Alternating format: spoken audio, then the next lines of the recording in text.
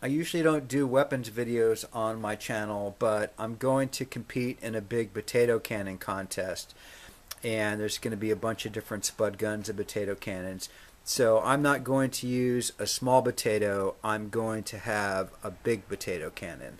But to make a potato cannon or spud gun, I need a barrel, and the barrel sits on like a stand. It's called a truck. And then I'm going to need some sort of propellant and a fuse. So I need to make all this stuff.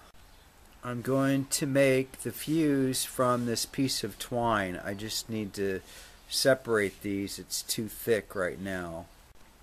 So I need to coat my fuse in potassium chlorate and sulfur and that's basically the compounds that are on the heads of matchsticks. Because this stuff is a little hazardous when chopped up and in the powder form, I'm going to wear my micron mask and a full face shield. I'm going to use this old motorcycle mirror and just chop these up with the razor blade.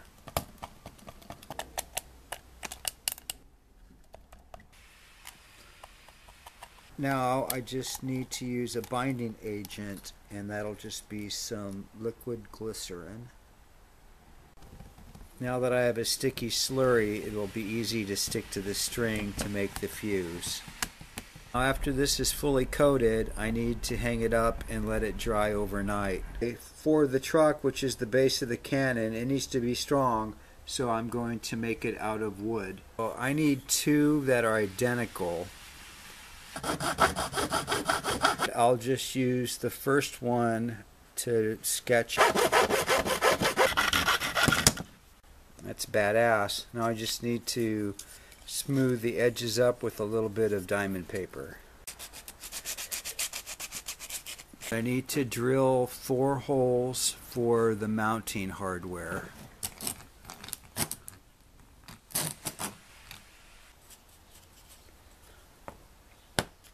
So with the cannon base complete for the truck, I now need to bore the barrel. So I'm going to bore the barrel to 25 millimeters. It's a small bore high velocity cannon. It'll probably shoot at about 2,000 meters per second.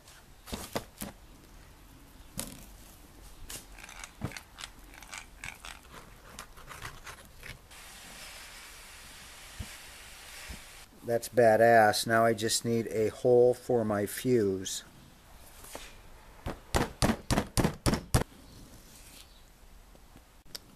Now I need to bolt the base onto the barrel.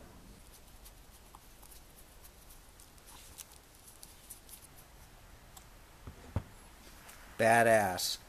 So with the cannon ready, I have some 25 millimeter projectiles to give it a test. So I don't have any black powder or anything, so I'm just going to cut off a bunch of these match heads and shove them in there. I'm not really sure how many to stick in there, but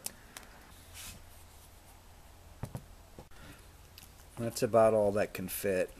Is exactly 25 millimeters.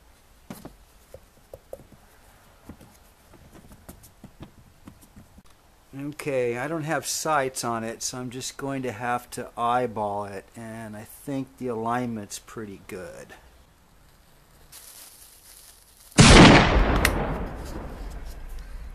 So I missed the bullseye, but it's pretty close.